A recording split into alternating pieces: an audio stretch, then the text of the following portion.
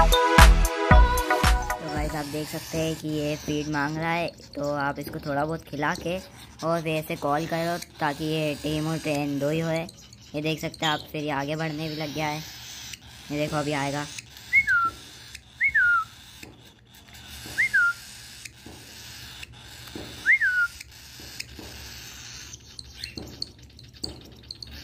तो इस हिसाब से आप भी धीरे धीरे करके बर्ड को मतलब हैंड फीडिंग कराते कराते टेम भी कर सकते हो। देख सकते हो कितने अच्छे से फ़ीड ले रहा है। अब मैं आपको दूसरी बर्ड का दिखाता हूँ अब। ये देख लो आप, ये भी बहुत अच्छे से फ़ीड ले रहा है। ये थोड़ा कम टेन है टेम है बस।